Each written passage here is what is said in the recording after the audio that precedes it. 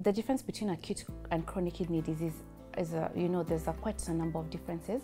Acute means that it's a sudden reduction in your function of the kidney, as opposed to chronic kidney disease, which means that it has happened for a bit longer. So many people have acute kidney injury and most of the time it recovers.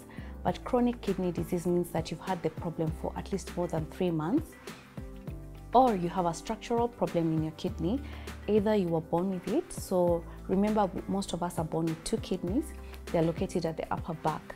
So there are people who are born with one kidney or they're born with both kidneys, but either they are fused to each other or they're positioned wrong or they have another a number of structural abnormalities. So all those constitute chronic kidney disease. While acute kidney injury is mostly reversible, chronic kidney disease um, is not reversible and it is in various stages. There are stages one to five. And as you go down the stages, by the time you're at stage five, means that your kidney function is very little and uh, you need help, you know, replacement of the kidney function. You need help with the kidney injury. Some of the times the patients will present with um, a sudden increase or a swelling of their lower limbs, sometimes their faces. They'll report either a change in the urine, either a, a, reduction in the amount of urine, change in the color of urine, or they have noticed some blood in the urine, or that the urine is a bit foamy. They might have headaches. And when you measure their blood pressure, the blood pressures might be high, uh, vomiting, nausea and vomiting, especially when they have a lot of buildup of toxic waste in the body, poor sleep, fatigue, amongst others. We manage acute kidney injury according to the cause of the rapid reduction in kidney function. For example, if you had diarrhea and you lost a lot of fluids, then we replace the fluids.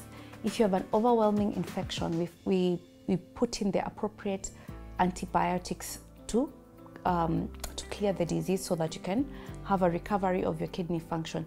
And if the kidney function, acute kidney function is because of massive blood loss, we manage by replacing the blood. There are patients who will respond to just that replacement, but there are patients who will require a few sessions of dialysis, which is cleaning up of the blood uh, through a machine, and then their kidney function recovers. For patients who have chronic kidney disease, we manage them according to an, a number of things. First of all, um, what was the initial cause of the insult to the kidney.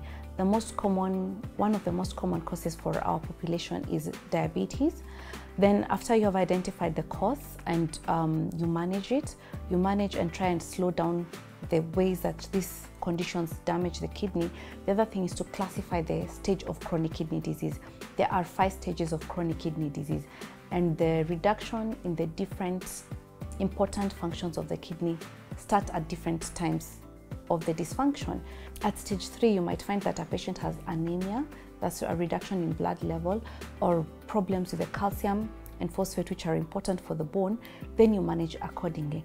And if your patient progresses through the different stages and gets to stage five, which is end stage kidney disease, then we think of ways of replacing the kidney function. So you can manage the patient medically. Um, that's after having a discussion and seeing what they feel is most appropriate for them. But the other two better ways of managing the patient is through dialysis, which is cleaning the blood. Basically, one of the common ways of doing it is hemodialysis. We connect a tube into one of the big blood vessels and then draw this blood, put it in a machine, clean it up and return it.